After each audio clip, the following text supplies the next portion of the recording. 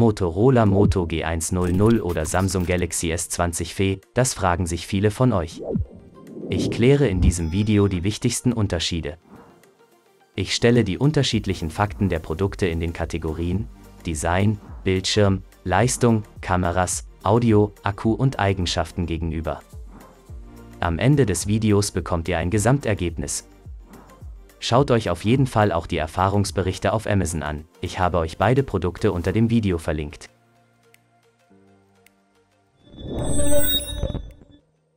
Design Im Bereich Design gewinnt das Galaxy S20 FE eindeutig mit 84 zu 61 Punkten. Es glänzt hier mit folgenden Vorteilen. Ist staub- und wasserdicht, 17 Gramm leichter, 1,3 mm dünner, 8,6 mm kürzer und 17,3% geringeres Volumen. Das Moto G100 hat auch seine Stärke und folgenden Vorteil. 0,5 mm schmaler. Bildschirm In der Kategorie Bildschirm gewinnt das Galaxy S20 FE eindeutig mit 71 zu 49 Punkten.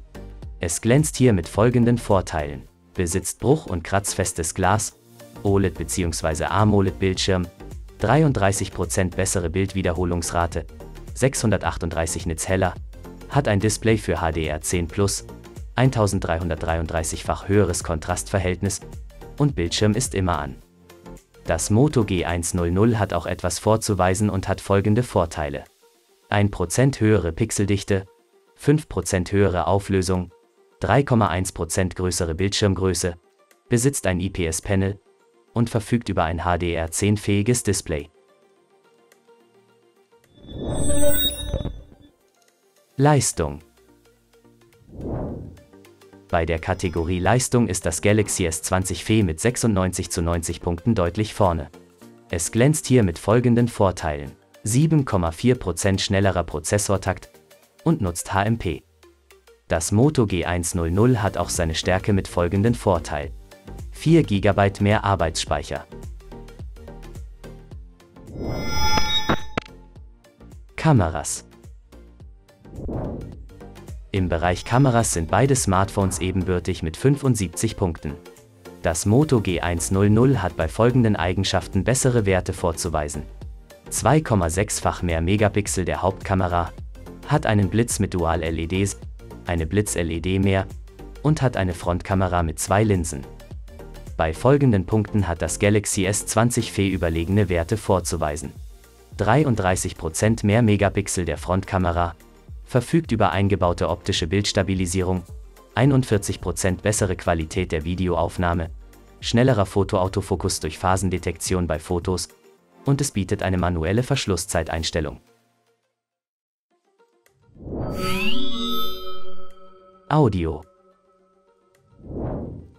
Im Bereich Audio ist das Galaxy S20 FE mit 58 zu 33 Punkten eindeutig vorne. Es schlägt sich hier bei folgenden Merkmalen besser, hat eingebaute Stereo-Lautsprecher und hat ein Radio. Das Moto G100 hat auch seine Stärke mit folgenden Vorteil. Hat einen 3,5 mm Klinkenstecker. Akku beim Punkt Akku gewinnt das Galaxy S20 FE eindeutig mit 95 zu 65 Punkten. Es sticht hier durch folgende Vorteile heraus. Kann kabellos aufgeladen werden und kann andere Geräte kabellos aufladen, Reverse Wireless Charging. Das Moto G100 kann auch punkten und folgenden Vorteil. 11,1% mehr Akkuleistung. Eigenschaften in der Kategorie Eigenschaften gewinnt das Galaxy S20 FE scharf mit 87 zu 86 Punkten. Es schlägt sich hier bei folgenden Merkmalen besser. 1.2 aktuellere USB-Version, hat ein Barometer, benutzt eine 3D-Gesichtserkennung und unterstützt Galileo. Das Moto G100 hat auch etwas vorzuweisen und hat folgende Vorteile. 7,5-fach schnellere Downloads, 0,1 Versionspunkte neuere Bluetooth-Version, unterstützt 5G und 15-fach schnellere Uploads. Ergebnis In der Gesamtwertung schlägt das Samsung Galaxy S20 FE das Motorola Moto G100 mit 87 zu 75 Punkten eindeutig. Schaut euch auf jeden Fall auch die Erfahrungsberichte auf Amazon an, ich habe euch beide Handys unten verlinkt. Falls euch dieser Vergleich auf Basis von Spezifikationen gefallen hat, gebt mir gerne einen Daumen hoch. Wenn euch etwas fehlt oder sich ein Fehler eingeschlichen hat, schreibt es mir bitte in die Kommentare. Schreibt auch gerne, für welches Produkt ihr euch entschieden habt und warum. Ich freue mich über jeden Like. Wenn ihr neue Vergleiche nicht verpassen wollt, abonniert jetzt meinen Kanal und aktiviert die Glocke.